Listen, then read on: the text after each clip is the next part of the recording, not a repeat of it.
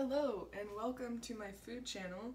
Um, for those of you who don't already know, I am new to the food vlogging world and basically I started this just because I love cooking, especially I love cooking eggs. Um, I love eating eggs and finding new ways to prepare them. Um, so today what I'm going to be doing is making an egg salad but not not the kind of egg salad that goes in a sandwich, um, an egg salad that is just literally an egg over a salad.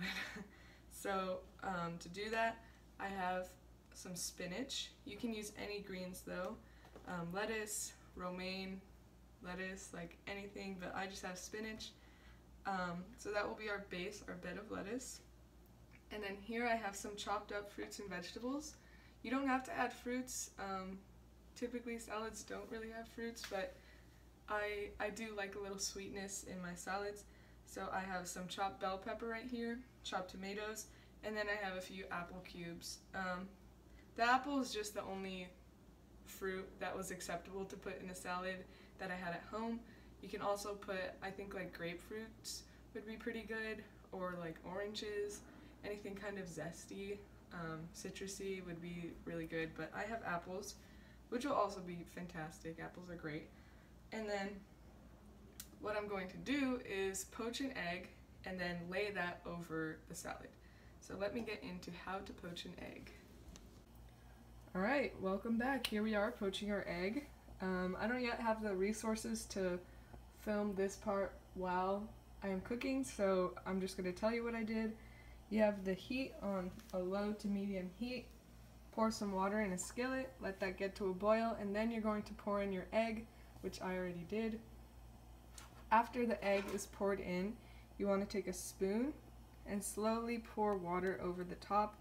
That way you are ensuring that you are cooking the entire egg and not just the bottom. Okay, now my egg is done cooking. So what I like to do is I take it out with a spatula and you're gonna have it be kind of watery obviously because oh my god. Okay it's fine. Pick it up again. And I like to put it on a paper towel. Okay. Okay I just messed up my egg. I'm gonna try again. Okay so here I am round two. Um, I just messed up cooking my first egg. Well I didn't mess up the cooking part. It just fell um, and spilled. So um, we're trying again. That's okay, accidents happen. Um, so this egg is just about done. All the excess white part, um, part of it is from the first egg I cooked, um, but part of it is from the second. You can just tear it off, like, gently. It will come off easily. Okay, so this egg should be done pretty soon. And before I get into it, the way I like to remove the egg is I take a spatula, spatula, I take it out and then I put it right here on a paper towel.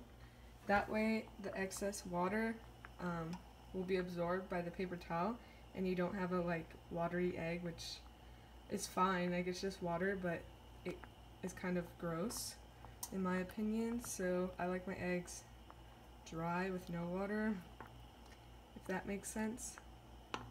Okay, so you can always check if it's done by tapping on the white part if it's pretty hard. So this one is. Um, that means it's done.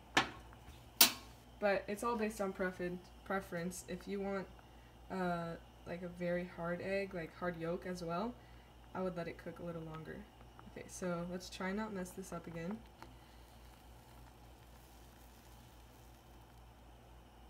I'm scared. Okay.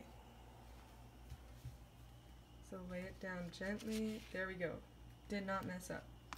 So I'm just going to let this sit here. Oh, turn off your heat you don't want to burn down your house. I'm just going to let this sit here for a few minutes um, to let it cool down. Like I said, the excess white part that's like not in line with the shape of the egg that you want, just take that off. It's really easy. Yeah, I'll do that later. Okay. Okay, so here we are. We are now done preparing everything. The egg is cooked. vegetables and fruit chopped, and we are ready to prepare. So, I'm going to take a handful of spinach. I'm just going to rinse it off really quick. Give it a nice shake. Okay. So I have some spinach. You can add as much as you want or as little as you want. It really does not matter. The egg is the base of this meal, so that's all that's important. Um, okay, now I'm going to well, first let me put my vegetables. So you can just sprinkle these on top. Have some fun with it. The more colorful it is, the better it is. That's my rule of thumb.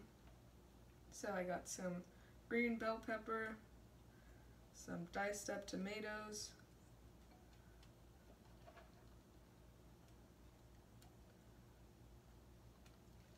Okay, and then my apples.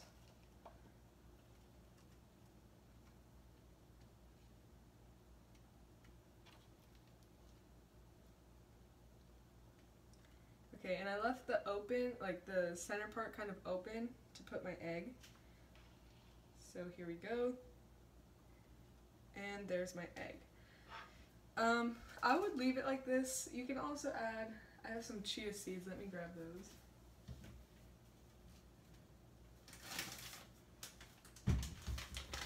Chia seeds really go well with anything.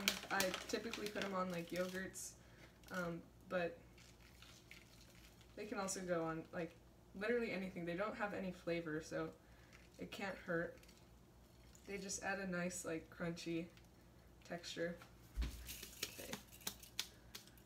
Now there's chia seeds all over my sink. You can get um, this big bag. It it will last you like months, like maybe even a year, um, from Costco, and it's like six six or seven dollars, but so worth it because they don't expire, I don't think. Yeah, they don't, oh. They expire in 2019, so in like two years, which you will probably finish before then. Um, anyway, I recommend buying them in big bulk because why not if you're gonna use them? Okay, so here you have it. Let me, okay, I'm gonna, okay, so here you have um, my egg salad. Sorry, let me move that out of the way. Okay. Um, egg salad, but not really egg salad. Uh, just to recap, I have a spinach bed on the bottom, added some bell pepper, tomato, apple slices, and then a poached egg on top, topped with chia seeds. This will fill you up for hours on end, give you all the energy you need for the day. Um, I hope you guys enjoyed this video. Don't forget to like, comment, and subscribe. Um, I'm gonna try and do one at least one video a week maybe. Um, if you guys have any suggestions on types of eggs or styles of eggs that you'd like to see cooked, just shoot me a comment and I will do that. Alright, have a good day everyone.